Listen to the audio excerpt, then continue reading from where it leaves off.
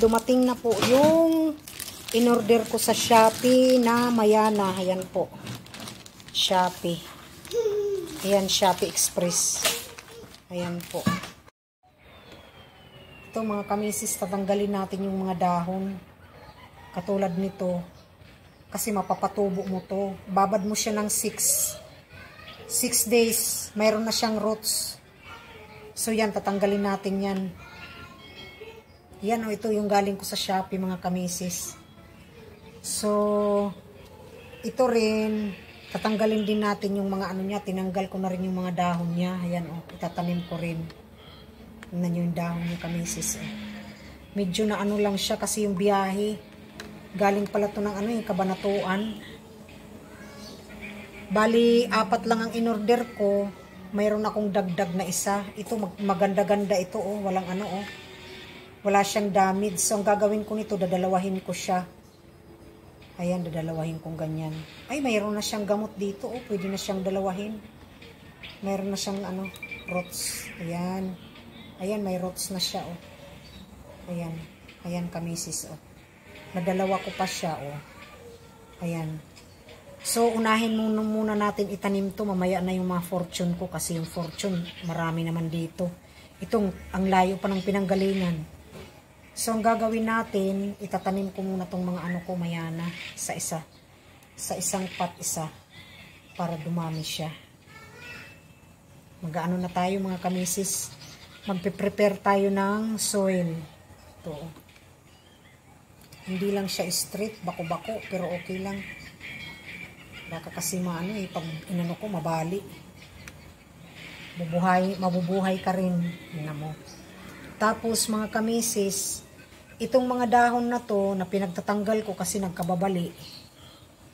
Ito mapapatubo ko to. Ito. Ito. Ibababad ko siya ng 6 days sa tubig. Parang nakatayo siya dyan nakatayo ganyan nakatayo. Yung nakaano lang sa tubig sa kanya yung dito lang ito oh. itong dito. So magro-roots yan. Oh. oh sige na kamisis yan na lang yung update sa Mayana kung in-order ko sa Shopee. Galing pang kabanatuan. Kawawa naman ang layo. Tatanim na natin para mabuhay. Okay, update ko kayo mamaya may makakamisis pag nalagay ko na sa paso. Babay muna, no? Ano po mga kamisis, no? Binutasan ko tong ano, itong container na to para mababad natin yung tangkay niya sa tubig. Ayan lang ang gagawin natin. Oh. Ganyan lang.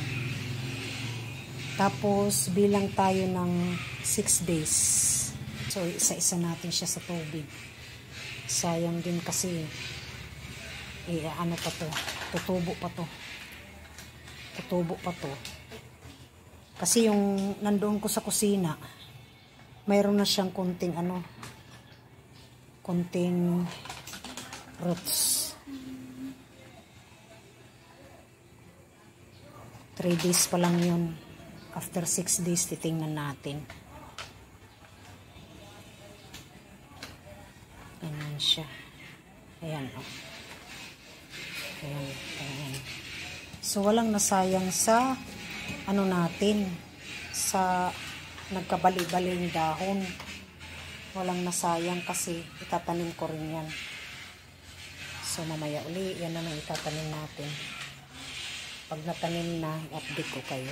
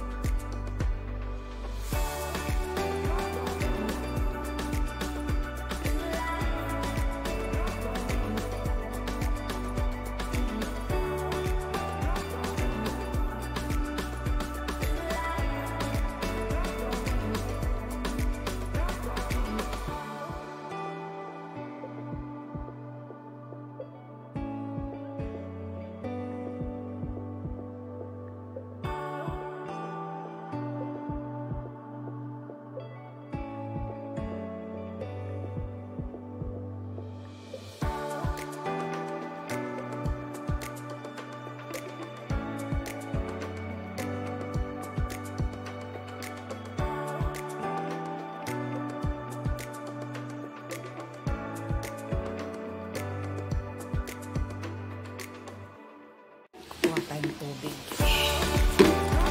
Gumagamit ng tubig, puso. Hindi ako gumagamit ng chlorine kasi syempre ma ano sa yan po sa tanim pa marami pa akong tatanim ko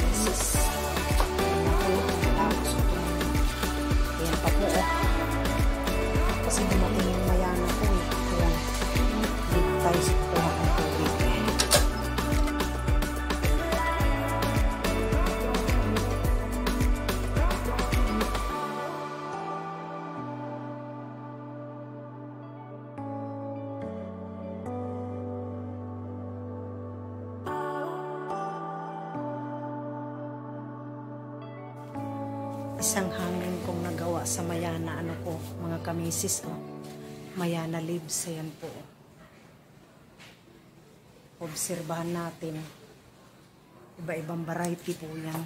Ayan po. Ayan.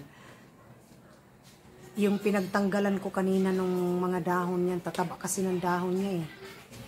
Kaya ginawa kong hangin. Ayan.